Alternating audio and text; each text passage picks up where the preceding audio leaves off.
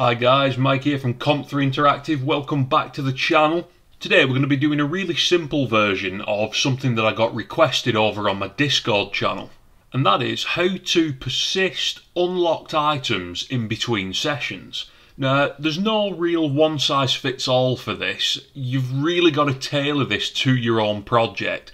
So I'm just going to show you a really simple way of doing it. And if you've got any questions, drop them in the comments below and I'll see where I can help you. Just before we get into this, I just want to thank this video's sponsor, Gigatank 3000. I've got his links down in the description. Go check him out on his website. Go follow him on Twitter. Check out his new game that's in development. You're all going to love it. And I also just want to thank everyone supporting me over on Patreon. You guys are fantastic. So let's get into it. What have I actually got here? Well, I've got a simple shop which is just a panel with three buttons and each of those buttons is responsible for an individual unlock. So we've got one that will give our player double health, one that will give us a double coin value and one that will give us double stamina. And as it says, your shop will be much better. But other than the actual design, what else have we got? Well, I've got a shop manager script, which is nothing fantastic. All it has is, we'll come back to this unlockable matrix in just a second, but we have three methods, one for buying health, coins and stamina, and all they do, they set this unlockable matrix values to either true or false. So when we buy something, we set the unlockable matrix has health perk to true. And all that the unlockable matrix is, is a serializable class which has these three booleans.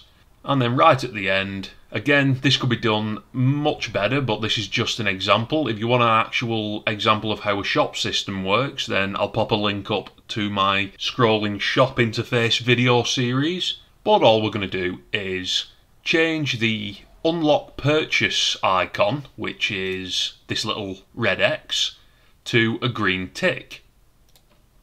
And then we're going to set the button's interactability to false. So we can see if we play the game, this is working perfectly fine. So we start, we see, if I click on double health, the button's no longer interactable and we've unlocked it, we have our tick. And we can do that for the other two. Perfectly fine. The problem arises though when we try and replay our game, we come back to it, and everything's locked again. Obviously, this isn't right. If you've spent money on an item, you expect that item to be reusable throughout the rest of your game. So, let's try and work around this. So, there's not actually that much that we're going to need to do to do this. We just pop back over to our shop manager script. The first thing that we're going to need is, well, we're actually going to be needing to use, so using the system.io namespace because we're going to be dealing with external files. And next, we're going to need a reference to our file's path. So that'll be a private string, and that's just unlock matrix path. And what we're actually going to do, there's multiple ways you could do this as well, but we're going to use JSON. Now you could use binary serialization or maybe player prefs, but I don't advise using player prefs. And I also have three videos on each of those save states in more detail if you want to check those out. But like I said, we're going to use JSON. Now the first thing we want to do is make sure that we keep a reference to our file path. So we're going to cache that in our unlock matrix path string. So we're just going to set this to unlock path matrix thing to, and we're going to use string interpolation. I prefer using this because it just means you don't have to have all those ugly plus symbols everywhere. And we're going to save it in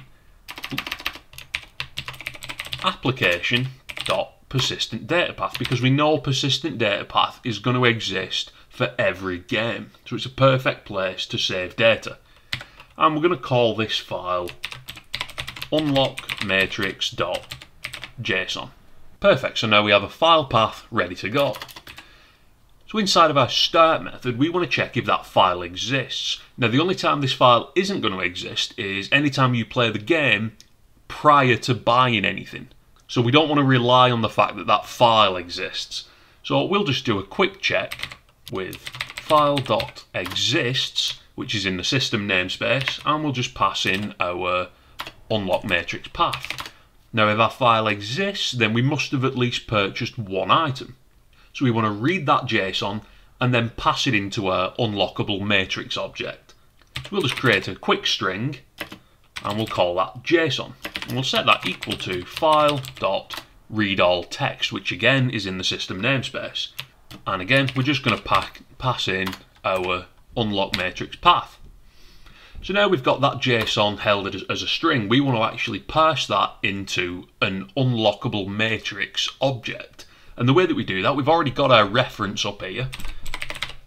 So we can set unlockable matrix equal to JSON utility dot from JSON because we're reading it, and in our angle brackets, what we're going to do, we're going to pass in the type which we want to pass this to, which is unlockable matrix with the capital U, the actual object, not the reference to it. And then in the parentheses, we can pass in our JSON string. So now, all being well, we've read in our JSON and this unlockable matrix is fully populated. And now what that's going to do, whenever we re-render our shop, it's going to check our unlockable matrix and then check all of our booleans inside. And it's automatically going to lock our button and also put our little tick there. But currently we're not actually saving JSON, we're loading JSON or potentially loading it, but we don't actually have any yet. So let's just go down to the bottom and we'll create a quick save method. We'll just make this private because we don't need this anywhere else. Void because it's not returning anything. And we'll just call this save JSON. You can call this whatever you like. And it's going to be quite similar to the loading method that we've already got. I'm going to create a string, call it JSON, set that equal to JSON utility dot to JSON this time. And all we have to do is pass in our object, which is a unlockable matrix. So that's going to automatically parse all of our data inside of Unlockable Matrix into a JSON string, and then all we have to do is save that as we would any other standard flat file. So we can do that with file dot write all text, pass in our path name, which is unlock matrix path, and then pass in the JSON object. And then the final thing we need to do is just make sure that we call save JSON after we buy an object or after we buy an unlockable. So that should be it. Now every time we press a button, we're going to set our boolean to true, we're going to re-render the shop, so we get our tick and our button's no longer interactable, and then we save our JSON. And then as soon as we start the game, we're going to read our JSON file, parse it in, and re-render the shop. So by default, anything that we buy should automatically be checked. So let's try this we play our game. It's technically the first time, so everything is locked. If we buy double health, close our game, and then relaunch our game, we should see double health is automatically purchased. And we can do that for the other two, back out and go back in. And there we go. We've kept our menu state between game sessions. Really simple stuff. Now obviously you can expand on that, you can actually add those features into your player dependent on what value is returned from the JSON. This instance is just keeping that menu in line with what our players already unlocked. So this has been a relatively short one, but I hope this has actually been of use. I know a lot of games use this, and I have seen quite a few questions floating around on Facebook about how to persist these kind of things between game sessions. So, with that, I'll see you again next time. Thanks for watching guys, don't forget to like, comment and subscribe and follow us on Facebook and Instagram for more bite-sized Unity hints and tips.